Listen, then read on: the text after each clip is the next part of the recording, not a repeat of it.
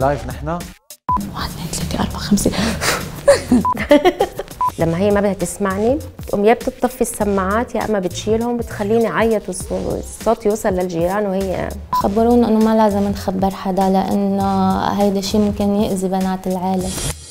ليه تندم ما بتسمع؟ ليه؟ هذا سؤال غريب. ما عندي جواب. ليش ما بتسمع؟ ما بتسمع. توجب علي أنا إني أدخل أنا على الصف عندها آه، أنا شلت الجهاز من عن راسها وعرفتهم عليه وإنه أي حدا بحب يلمسه بحب يمسكه بحب يتعرف عليه فكفكته قدامهم وركبته وقعدت لهم شو أهميته إنه هيدي ديناها لسدين. وبتمنى منكم إنه ما حدا يشل إياهم أو يمزح معاها فيهم. فكانوا كتير هول الأطفال اللي إحنا بنشوفهم أطفال كانوا كتير آه، حماية لإلها. عايش بين ناس فهمت علي كيف؟ يمكن مغتربين مثلي ضمن المجتمع اللي أنا فيه.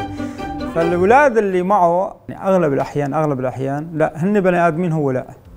مرة فت لأحكي مع مديري وكان عنده ناس بالمكتب ففتت أنا محمسة وهيك عم بقول له آه إنه أستاذ لؤي في شخص بده يحكيك كذا. فتري هو منه بالمكتب والباب مفتوح. فبيقوم الرجال اللي كان قاعد عنده بيقول لي شو مفونسه مش اشعه فانحرجت شوي بس ضليتني طالعة عادي يعني ما علقت على الموضوع. أنا فاهم هي القصة وين. هي القصة لما عندنا إعلام غلط ولما عندنا آه الابروتش تبع الشخص الكفيف غلط ودائما بدنا نظهره بصورة هذا الإنسان اللي هيك قاعد عم يشحد الإعاشة أو قاعد هيك ما بعرف كيف ومعطر ومشحر وأهم شيء ال soft music ها؟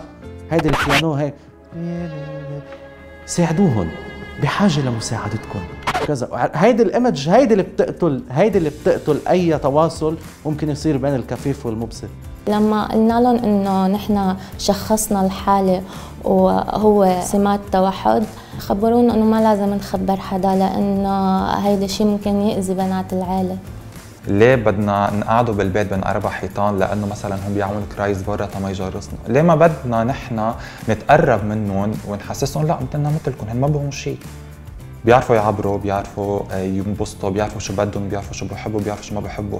ليه نحن بدنا نحطهم بكاز إنه هن بمحل من المحلات برات المجتمع تبعنا. أنا مختلف عنك أنت مختلفة عنه كلنا مختلفين عن بعض. أنا ارتبطت لمدة 18 سنة مع شاب آه، كنا بنحلم إنه نكون مع بعض بس آه، دايما عائلته كانت رافضتني رافضتني بسبب إعاقتي. يعني هي والدته أبدا ما كانت متقبلتني ولا بأي طريقة. ويوم الخطبة إجت هي وعيطت علي وصرخت علي إنه ليه؟ ليه بدك تاخدي لي ابني وأنا قايلت لك ما بدي إياكي؟ خدي حدا عنده إعاقة مثلك مثله. فأنا هون صراحة انقهرت كثير بكيت كثير زربت حالي بالأوضة لمدة ثلاثة أيام وأنا مقهورة إنه اللي صار معنا بعد ثلاثة أيام شلحت المحبس وراح كل واحد بطريقه. أو أنا قعدت حكيتهم أتحدث كذا. لا إيه آه طلعتي انت أوكي. آه فهمانة.